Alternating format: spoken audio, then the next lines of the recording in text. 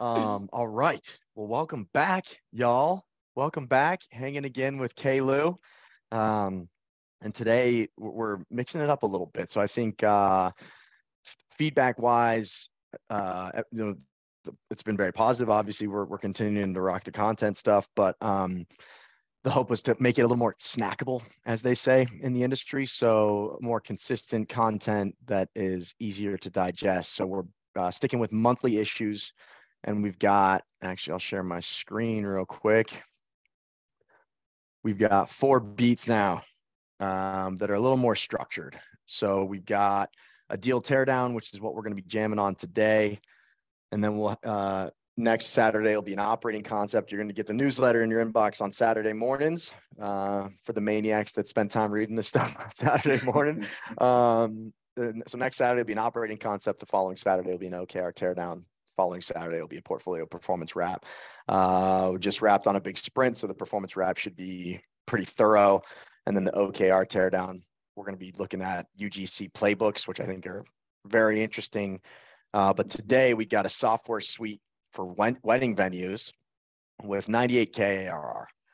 Um, and I, I take it you had some time to to pull your notes together, Kev. Oh yeah, very little snack bites here. I love it. Nice. Well, I think right out of the gate, um, 98k is on the low end for us, um, and I, I, think that's like a big decision point for folks that are getting into the Mac, micro SaaS acquisition game. Is kind of which tranche do you want to play? Mm-hmm. Um, especially if you're relying on the business for income, personal income to achieve. And that's kind of a, a conversation around like kind of buying back your time, where it's like, hey, I'm going to acquire this business. I'm going to live off the net income of the business and then I'm going to active and then I I'm the number one ringleader, you know, contributing and making the business more valuable. But it's ultimately a way to buy escape velocity, as we call it. Um, yep. But 98k is obviously well below that, and the and when we start to step into, I think margin wise, it's even thinner. But there's some interesting stuff. So headline here: software suite for wedding and event venues doing 98k in ARR. We've got a very sexy uh, fade gradient here. That took me a little while in Canva, getting getting smoother though. Um, and the headline is profitable SaaS with 86 in trailing 12 month revenue and 33k in trailing 12 month private that uh, I'm sorry profit that helps wedding event venues bring their entire operation into one software suite.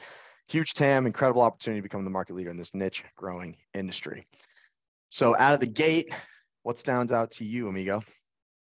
Yeah, so out of the gate, I mean, while the software itself sounds like, hey, this could be a game-winning like deal right here, the margins are just too thin. And the fact that it only has 5% year over year growth and it's operated by two people, it means it feels like one, we're going to be operating from a place of scarcity. So, in case anything happens or blows up, worst case scenario, we may not necessarily have the funds and we all have to put our heads down to kind of figure this thing out. So, while it may be a good deal, the revenue level just scares the heck out of me because bootstrapping and operating from uh, a place of scarcity it's tough on most entrepreneurs and everyone doesn't want to keep jumping from one grind to the next grind so the grind scares me man yeah, yeah this totally. kind of business well i think there's uh and I've written a little bit about comfort zones, um, and I've had some pretty deep combos with some super sharp folks. And it's like you're always looking for 60% comfortable, 20% weird, 20% straight abyss like a cliff into the nowhere and you're just yeah just nosedive right? and it's like oh my god. And so that's kind of from an operating perspective and i think there's a, a, a obviously a spectrum of stress that's helpful. And uh, when your back's against the wall and margins are this thin and things go wrong and you got to worry about paying bills for the tech stack vendors obviously we wouldn't have any kind of payroll to meet here. Um, so i'm with you. So the headline like right out of the gate it's like that's not a lot of revenue um, and for us, and I think we have established that we want to be playing at minimum 20K MRR, which is about 250K in ARR. Um, and that's a function of just like the, the, the burden operating wise headcount. Mm-hmm. And if mm-hmm. we think about core headcount, that's engineering and product, that's rev ops, um, that's customer support. But I would say like the most like skeleton crew ever is engineering and support, right? You got to. Yeah, I was gonna say ship. it's really support and engineering. That's it. that's it. And then ideally you layer in some rev ops there because that's you know kind of the, the data and the systems that make the machine go or, or give you operating leverage over time. Um, so the thing that spooks me is like, oh shit, 86k and he's asking an 8.7x. And we'll go into comparables here, which, you know, God bless him. If he thinks the, the value's there, fight for it, you know, but it's like, all right. And we're using leverage in our deals.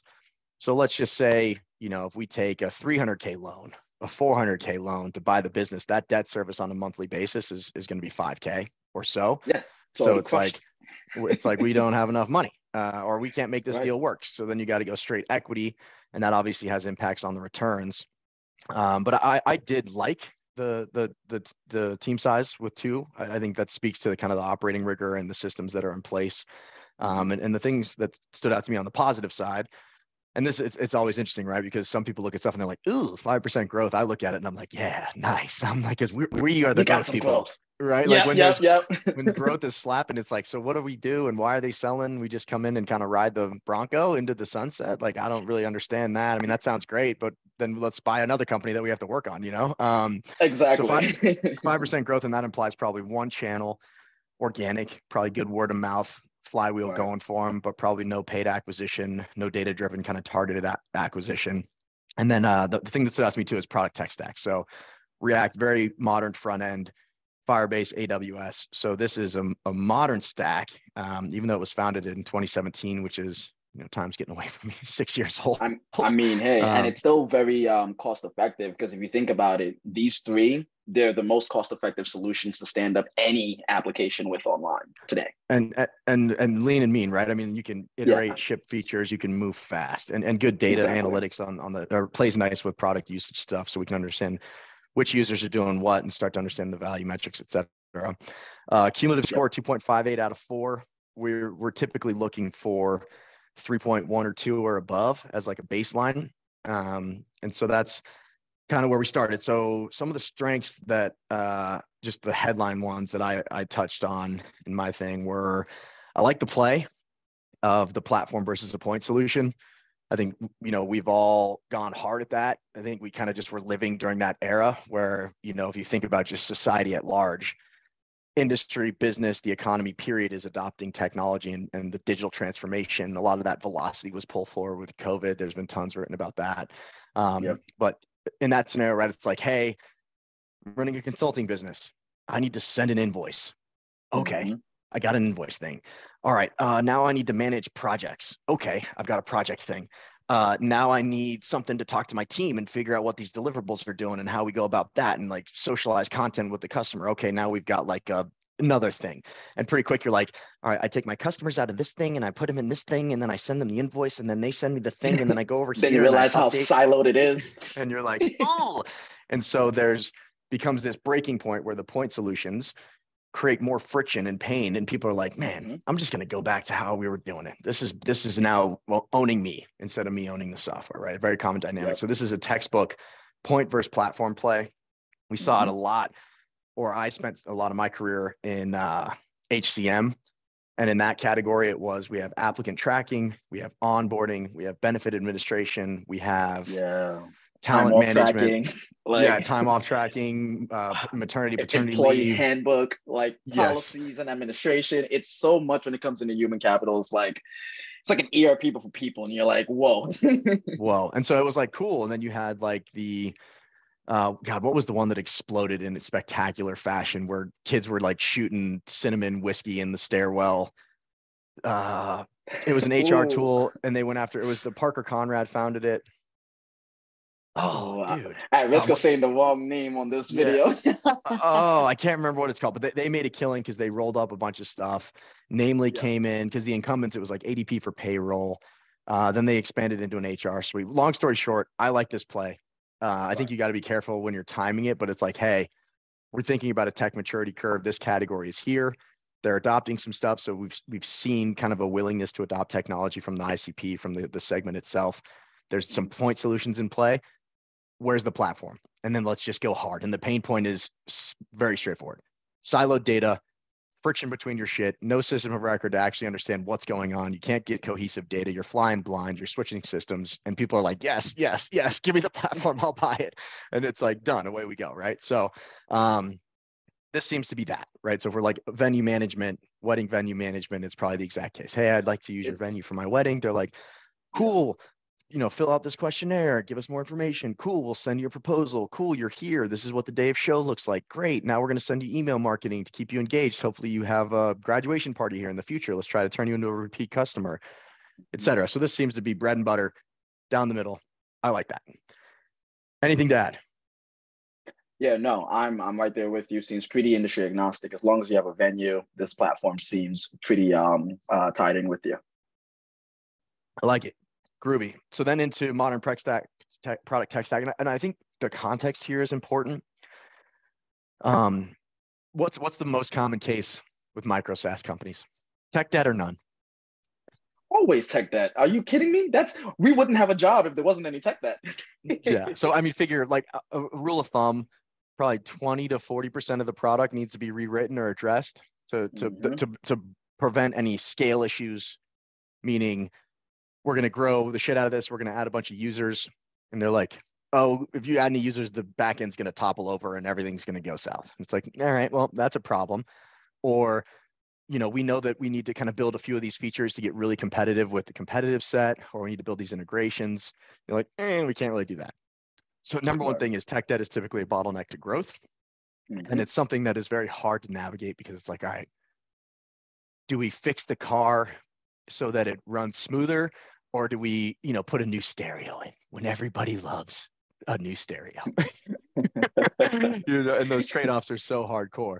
Um, so anyway i think the reason the modern product tech stack stands out here is because it's not very common right? Bootstrap founders are like yo elbow grease bubble gum duct tape. Right.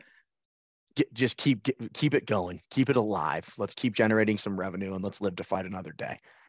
Um, cool so let's move on from that one pricing models. Okay, Lou, what's your favorite pricing model, buddy? My pricing model, hybrid. So all usage based. Yeah, you have to pay a base rate to get access, and we price you based on all of the other activities you complete once you're in the software. Totally. And, and we were chatting about this, like the holy grail, or it's hard to contain value with software, right? Right. And there's all different, and it's like the convention was usually seat based, license based, and then some users extract tremendous value. Some users maybe log in every once in a while. Users share their licenses. Right. so it's like ugh, like we we're not doing a very good job in terms of the value chain of actually capturing the value that we're creating. And so ideally you move towards something where it's like hey you're going to use this saas. It's going to make you more successful and we want a mm-hmm. chunk of that incremental success. So it, at its root it feels like a rev share right and exactly the way we want to position it is so exactly like a rev share but for someone that doesn't understand a rev share model, they're thinking, oh man, this is a really dope contingent plan. They don't win until I win. And that's what you want people to think about with a usage based pricing model. Exactly. And another way to think, or maybe a concept to wrap around that is like it scales linearly. So yep. as you succeed up and to the right, well, this is maybe backwards, up and to the right, um, your, your success is our success. Our long term incentives are aligned you don't feel like you're getting price gouged. We don't feel like you're exploiting us. Everybody's happy. Exactly. Right? Um, and there's some really good stuff. Tom Tunguz distills this very simply, and he, he thinks about it in terms of like tariffs. So, two part tariff is what you're talking about, which is like a um, pay to play. This is a platform thing. You pay some fee, and then there's a toll booth element, which is like as exactly. you incrementally get more success. And then the other beautiful part there too is it overcomes a lot of the initial barrier to entry or friction for new accounts because mm. OG enterprise stuff is like, hey, we're going to run this sales process. We're going to do these totally configured demos and we're going to promise this business impact and then we're going to implement it. And then a year later, maybe it's there. Right. Whereas yeah. this, this one's like, okay, you know, like you want take a bite of the apple. Isn't that good? Great. You want to take more bites of the apple? Great. Oh, the apple's gone. Here's another one. and the part about it that I love is, you know, on the back end, as product managers, we're always looking and say, okay, where can we create the most value for people? Now you have a way to just target exactly the features that are being so used by so many uh, uh, groups of power users. You can say, okay, let's interview those people and say, okay, what else can we do here to just move the lever? Or this feature just so perfect that we shouldn't touch it at all, and let's look at some other features we can make as perfect as that one one. It, it just gives the value creation conversations just so much more validity. Totally. And I think so. This one, what I found to be clever was based around events, right? The alternative could have been venue, uh, operators, management teams. Number of whole, invoices. Yeah, number of invoices. It could have been a bunch of stuff. And it's like, yo, however many events you do per year, presumably you're going to extract as much value from this as you know more events, more value because we're streamlining your stuff. We're giving you time and that right at the end of the day, everything's about saving time, saving money, or saving time is a way And- to create money or save and money. more data, so more retention. You can't just leave because we got all your shit. Yeah, exactly. Totally. So um, that was cool. And then we touched on this, uh, the light operating model. I mean, I, I think it's, I'm not sure what the contractor situation is with this, with this firm, but two person headcount. That's lean and mean. That's systems. He must have his, his ducks in a, in a row. I mean, it's like you've got playbooks, you've got operating procedure, you've got good process around data, which there's two sides to that coin, right? Because it's like, it's a professional like operator. And I think what, what you hope for is a professional product person who knows the shit out of the market or kind of a repeat product person. And they're like, hey, we got it to this point. We're not necessarily savage when it comes to operating a business, when it comes to leading a business, when it comes to systems, Mhm. procedure, repeatability, operating leverage, et cetera. So this is the good side of this is like, cool, it can be done. The bad side of this is like, they might be doing it, which means we aren't having going to have an opportunity to do it and create some value in the business in the form of efficiency. Right. I'm totally right there with you. It seems like they're already spanking it. Like, how much more can we spank? Like, where where's that squeeze? You know, where's that lever that we can find?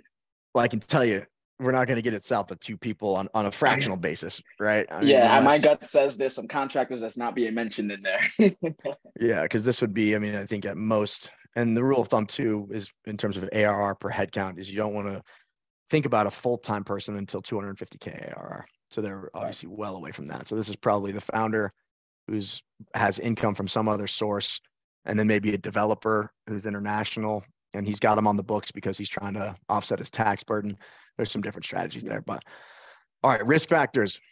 We spoke about this one. Um, man, if you're flipping houses and you pay a huge premium on the house, is it harder to make money on the house or is it easier to make money on the house? It's harder to make money on the house. So I think it's like split the atom too. It's like, oh my God, private equity, it's like this crazy thing and you have to go to business school and oh my God. And it's like, well, at the end of the day, you're buying something at a lower price. You do something to make it more valuable and you sell it. Simple as that, right? You make the asset more valuable. And and there's Buy low, sell high. Simple. and and and multiple is a, a function of a lot of stuff but one for sure is growth. And when we get into comps we'll look at how this deal compares to of the other deals that we have access to, to or just visibility into. But um so that's this is basically a deal breaker. Um Yeah. so but that doesn't mean we kill the deal right? This would be hey let's have a conversation. I mean i think we've agreed that this is a deal we'd pass on because it's below a threshold where we want to play in terms of just baseline arr we obviously got to stay open-minded. We don't want to uh, constrict the, the aperture for deal flow such that we don't look at deals where it's like oh this is a no it's like eh, okay the, the valuation is a problem. That means let's have a conversation with the seller and let's have them rationalize the valuation in their view. And i think Yeah. based on what we've spoken about i think this is probably like a kind of a venture pitch where it's like product is primed and greased. We've got some customers that love us. We haven't hit the growth thing. Pay a premium come in here and you're basically paying for upside. Um, which is a function of a whole bunch of, st- stuff and that's i mean i don't know i think that's very debatable but i think from our perspective when we would just the, the comps argument is kind of the de facto way to value something where it's like hey you want to sell this house for a million bucks? It looks like similar and it doesn't have a garage and it doesn't have a swimming pool and it doesn't have a kids room. Every other house trading at a million bucks has all three of those things and they have way better landscaping. How are you getting to this valuation? And he might say you know we've got the we've got a benihana kitchen. And you'll be like damn all right that's worth that's that's cool. Yeah, all right yeah. let's you know let's talk. Um so valuations uh very ambitious um on the revenue levels. And then the thing that really spooked me white glove was mentioned a lot. White glove scares me. Um how well does human implementation scale? It doesn't. it doesn't. It comes down to proper SOPs, which someone has to own to continuously update. And then you have to have someone to follow that SOP and execute it. And then there's the risk factor of that person just decides to not look at the SOP and do it their own way. And now everything's going downhill. Human capital does not scale the way we want. And there's always a higher burn than we budget for. or the other thing, right? If you think about unit economics, we want something where our costs scale on a certain trajectory Mhm. that is not attached to revenue. And so, said differently, when you have costs baked into every new customer, because the beautiful thing about software is once it's built, how much does it cost to give to a new customer? Uh, it's, Well- it's it's it's a unit of scale. It starts to, you know what Well, I mean? it's- it costs well, you well, less with most Yeah, more less over time. Yeah, less over time, Yeah. but it's simply put, it's delivered via the internet. Exactly. We don't have to mail anything. We don't have to package anything. We don't have to carry any inventory. It's free cost of serve, right? Um, streamlined. so in this one, it's like for every unit of new customer, we're stacking costs, and then you'll make that up because of the recurring revenues when you start to think about customer acquisition costs and li- lifetime value. Uh, Yep. But this is not good. And then the other thing too, and this one's not quite as obvious, is there a very consistent, predictable number of new customers that sign on? Mm. Right, right. Okay. where it's like, hey, we're going to onboard three customers a, a month and we need three implementation people. It's like, Yeah. eh, this week we only got one new customer and we're paying these three implementation people. God damn You got to ramp up and down. This week we've got 10 new customers and these three people are totally overloaded, stressed out, burnt out. The experience for the customer is terrible. All the timelines are off. The budgets are off. This is a disaster. And so you play this game where it's like, you're just like chasing this thing. And it's like, well, you know, let's forecast this. And it's like, you know, we don't have a glass can you? or magic ball. Yeah, totally. Exactly. If this was a business selling a physical product and you look at the line item for cost of goods sold, it's just all over the place. There's really no forecastability here. Totally. So into quick wins and opportunities. Um, I, I- I mean, I, I kind of kept this short and sweet. I mean, I, I think product seems to be tight. Obviously, we would diligence the hell out of that. Yeah, Um, and to. competitive set. This Tripleseat group was pretty impressive. Good critical mass of reviews on G2, three, you know, anything north of 100, 150, especially Yeah. in kind of a niche market is interesting. 4.4 is obviously not bad. They won an award like the Winter G2, whatever award. I was going to say I have some familiarity with them. They actually own a large percentage of the market share for venue management software. And I was using them with a previous client before. Um, they were pretty much just offering um, curated uh, catering experiences. So they'll Okay. bring out like a famous chef and then they'll teach you how to make certain dishes exactly like that chef. Or if you're uh, targeting a certain like health group that's aiming for a certain health lifestyle, say intermittent fasting, they would then cater like an experience on a weekend to teach you how to do intermittent fasting the right way, how to eat properly when you break your fast and when you're going on fast. And they use Tripleseats across all of their customers to manage a lot of the bookings. And it was Totally. easy. and this makes a ton of sense, especially, you know, the restaurant industry was pretty beat down after COVID. And they're like, yeah, so they had to get creative. Yeah, they're like people aren't dining like they used to. You know, there our takeout is ripping, but we're paying, you know, we're paying DoorDash 30%. They're taking us to the bank. Yep. And they're like, but at least we, you know, we're keeping the doors open. It's like, all right, well, what should we do with our space? It's like, hey, I don't know. Do you have any kids that want to do a birthday party? Is anybody graduating? Is there a proposal we could celebrate? And it's like, oh, okay. So this so I get how Tripleseat could have had some breakout as a function of their core customer needing to make better use and generate kind of new income streams for their assets, meaning the, the real estate Yep. that they own and operate and have to pay a lease on. Um, so I looked at this and I was like, good side of the coin. They're hyper fixated on restaurants and hospitality. I think that gives us the space here with this firm to go attack wedding venues and, and kind of ancillary, you know, concert venues. I don't know. We would just play outside of restaurants and hospitality. But then you start to think about the differentiation between those verticals. And it's like, you know, how different is a wedding venue than a restaurant? And it's like, I, you know, I don't Might be in know. the same venue. And it's like, all right, cool. So is Tripleseat going to change a few landing pages and start, you know, buying some ads for wedding venues? And they've got better product market fit across like the real kind of core pa- pain points that aren't that distinct across the verticals. Right. Tripleseat expands their machine to come after wedding venues, and they've got some momentum. Uh, you know, you How start to get robust is our product? Mm, Would they want to yeah. acquire it or just say, you know what, let's just let them go bust? Sure. Well, and I think that's an interesting thing too, right? Like begin with the end in mind, where it's like, actually, let's go fixate, hyper fixate on weddings, and then let's turn around and flip it to Tripleseat, and let's just make an obvious no brainer, and we could inform a product roadmap that way. Like, there's a lot of like we're going to acquire this thing and the, the core part of the thesis is the exit strategy. And obviously you need to have some kind of exit strategy in mind but it's like hey we're going to get we're going to build this for a strategic acquisition. Go baby go. And then you just hope that whatever you're doing is interesting enough where they don't think they can do it themselves or they don't think that they'll just bleed you slowly and your customers will come over there anyway and they'll just get them at a Yep. discount. Um, so anywho all right into market comps Um, so we, I did, I flexed up pretty big on, um, on our, or, oh, sorry, into market comps, not, not return scenarios. So if we're looking at, and we did 50K to 100K micro SaaS ARR. Um, Mhm. so asking price, uh, was 505. This one is obviously significantly higher. So we gave that two thumbs down.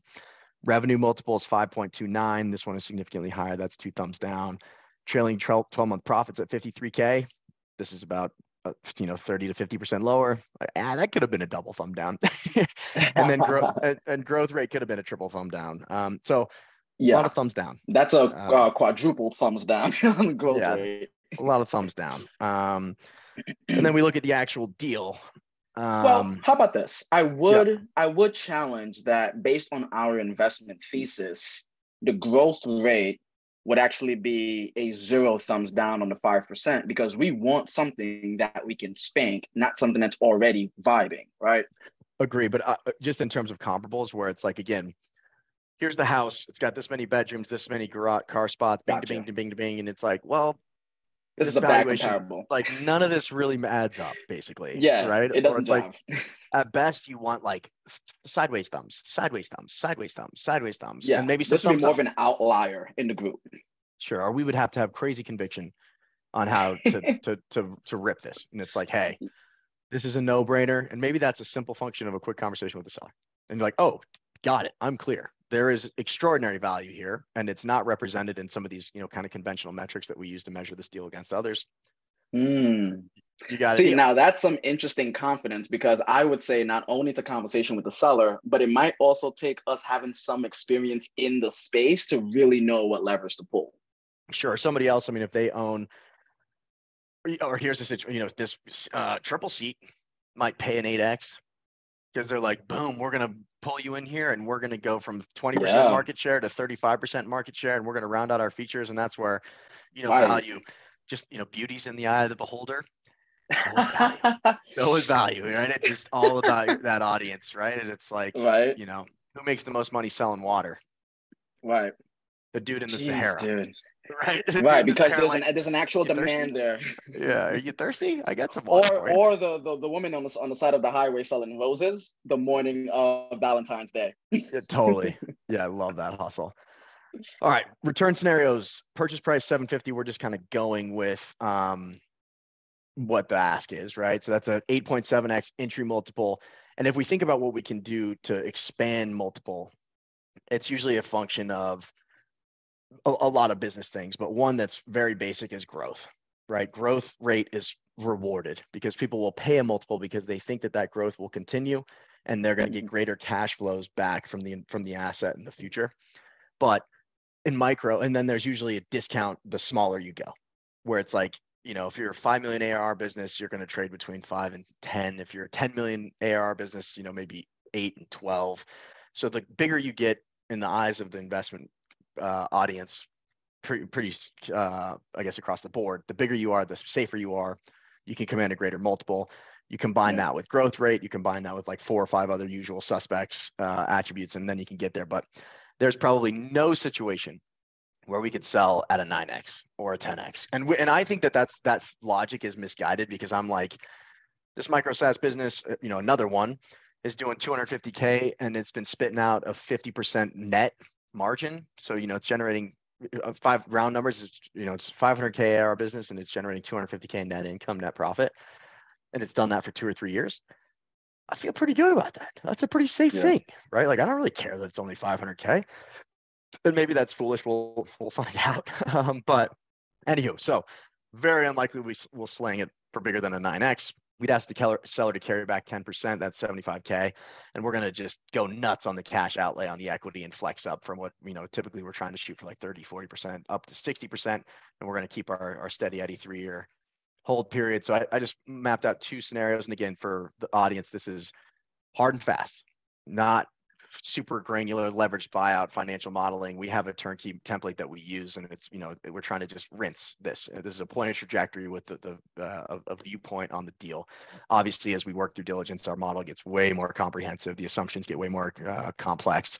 But here we've got established top quartile growth and median churn. That's 5% churn. And that's the median for, for MRR 0 to 25K. And then uh, a 3% net growth rate. So if we establish top quartile growth, and that top quartile growth is relative to median churn. So this is where it gets a little funny, right? Because it's like growth is a net function, right? So it's like if churn is 12%, I mean, churn obviously is the number one thing you want to optimize for, but if churn's 12% and you want to achieve top quartile growth, you got to get 15%, right? Because we're mm, talking about a, a, net number here at the end of the day. Um, and then, man, I leaned out the operating uh, uh expenses hard. So I was like, all right, an engineer a customer support rep, and then like kind of some rev ops. And let's hope we trade at a 6x. Um, because again, we want to like churn would be a big uh, driver of the valuation. And then the other scenario, and if we do rip that, we're looking at 2.2K in free cash flow on average a year. So like cumulative, it was like 6K, and we're running like basically net margin, uh, net negative margin the first year after debt service. Yep. Break even is at exit and cash on cash return is 2%. Gross proceeds about 680K. And then, you know, what's funny is that relative to, and obviously the downside of micro is we're going to turn 448K into 680 after you get paid your 448. Um, so in conventional private equity standards, a 2.52 MOIC and a 35% IRR is great. That's pro- probably top quartile yeah. for a lower middle market buyout shop but everyone's like, all right, all the brain damage I had to subscribe to the investment, you're sending me these updates, and you know, we, as we've spoken about, it's kind of tonnage out. They're like, nah, it's probably not worth my time. So we, our, our, our return metrics need to be very significant because we're kind of playing with nickels and dimes relative to institutional investors that are rocking lower middle market buyouts, right? So this is like, we look at this and it's like, this is not, this is unacceptable because these things need to be extraordinary to make micro SaaS an interesting asset class or sub sub asset class. Gotcha. Cool. Next one, maintain relative growth. So this is now we're maintaining that eight percent growth rate. We're, we're and this and you can almost kind of think about this over time too, where it's like let's get in, let's get growth buzzing, strip out as much cost as we possibly can. Churn is there, and churn takes a long time to fix. Okay, and then these scenarios could kind of stack together. Okay, now we've got this growth rate. Cool. Let's solve for churn, which is very hard. and it's like okay, so now let's get into, oh, and that's supposed to say top quartile, but um, 2% churn. Now when we maintain 8% growth rate, we've got the same staff, 5% net would be rewarded in terms of a factor for the multiple. All right, 82K free cash flow a year. We're still not going to make our money back until I exit. 18% cash on cash per year, 2.6 million in gross proceeds. And now we've got, you know, the MOICs and the IRRs that, that we need to see. Yeah. All, all to say, this is interesting there's almost no way that we can make it work. uh, and it's not that practical, but this is an interesting deal to look at. Um, and it was very worth the exercise. Yeah, no, Anything this is definitely worth the exercise. Um, or let me again, ask you, like, we got to get to the point. It's like, do you do the deal? do, you, do you send the, an LOI? Do you talk the to scorecard says no uh my gut would say like honestly what i would do how i would approach it would be a conversation with the seller and say we got to get down from the asking price. Like the the 8.7 multiple like make me a believer. Where's the benihana kitchen dude? And exactly. i need a fire and i need a fireman's pole from the top to the bottom that's cool as shit and the kid you know and the, the kid's bedroom has a trampoline in it. Exactly. show me where you see that? the growth potential here.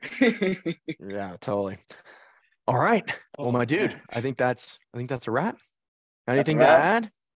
No, this was uh, I can't wait for the next uh the next part. Um, I'm enjoying these snack bites. I think this is a way better way to approach these kind of deal teardown. So it gives everyone a little bit to just dive into and then like, yeah, that all makes sense versus just hitting them all at once. But this was a great man. 30 minute snack bite. Let's do this every week. Beauty, beauty. Well, thank you for running and gunning with me, my man. I know you got a lot of action. Um, of course, man. Cool. Go get him today, and uh, I'm gonna go have something to eat.